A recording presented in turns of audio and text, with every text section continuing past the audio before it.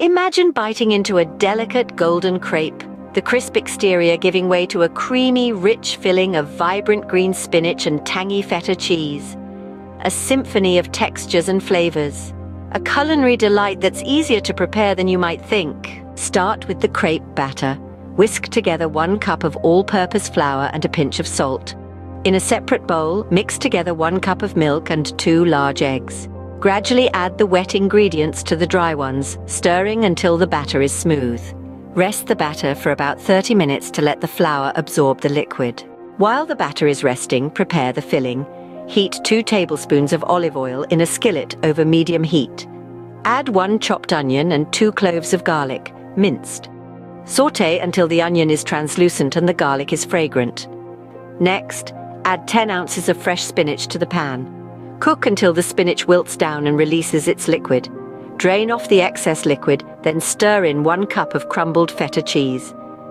Season with salt and pepper to taste and set aside. After the batter has rested, heat a lightly oiled non-stick skillet over medium heat.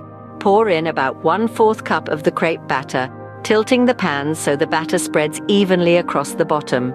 Cook until the edges are crispy and the center is set, then flip and cook for another minute. Lay out the cooked crepe and spoon about two tablespoons of the spinach feta mixture onto one half.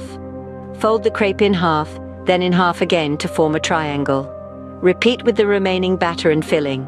And there you have it, a batch of irresistible spinach and feta crepes, crispy on the outside, creamy on the inside, and packed full of flavor.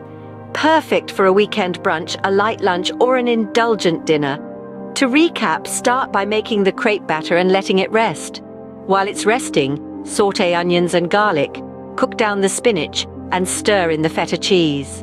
Cook the crepes, fill them with the spinach feta mixture, and fold into triangles.